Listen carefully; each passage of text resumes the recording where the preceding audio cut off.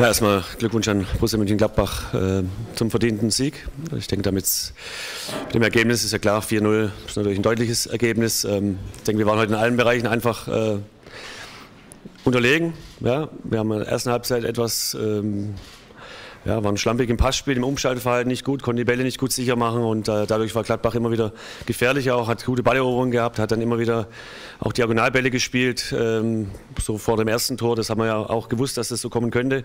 Das erkennen wir einfach nicht, dann äh, machen wir die Seite frei, der geht in den Strafraum und, und spielt den Ball nach innen. Äh, 0-1 Rückstand, haben, äh, denke ich, Glück gehabt, dass wir das zweite nicht vor der Halbzeit kriegen haben dann zweimal gewechselt in der Halbzeit, haben versucht, nochmal ein bisschen äh, eine andere Anordnung zu haben, auch im Zentrum einen etwas ballsicheren, äh, körperlich stärkeren Spieler zu haben, ähm, der die Bälle gut festmachen kann. Haben dann äh, direkt nach der Halbzeit die Kopfballchance gehabt, Torwart gut hält. Wäre es möglich Ausgleichstor dann gewesen.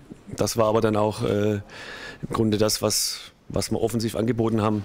Dann haben wir das zweite Tor gekriegt. Ja, mehr als unglücklich natürlich mit dem Torwart und ähm, Christian Gentner, die sich da gegenseitig den Ball hin und her spielen. Und ähm, mit dem zweiten Tor war das Spiel dann natürlich auch äh, in eine Richtung, wo wir dann nicht mehr reagieren konnten. Dann kommt das dritte Tor. Patrick Herrmann natürlich, äh, ja, ich denke, muss sich Borussia Mönchengladbach freuen, dass er da wieder zurück ist. Natürlich äh, tut ihm gut. Und zum Schluss machen wir noch selber ein ähm, und erhöhen dann noch auf 4-0. Hat natürlich dann heute alles zusammengepasst ähm, zu dem Spiel. Ähm, ja, ich denke, zwei Tage haben wir Zeit, um uns darüber Gedanken zu machen. Und dann geht schon die nächste Aufgabe gegen Hoffenheim. Also wir sind nach wie vor mittendrin im Abstiegskampf und ähm, das wissen wir auch. Und heute war die Leistung nicht gut und äh, werden wir versuchen, das äh, Richtung Samstag auf jeden Fall deutlich besser zu machen.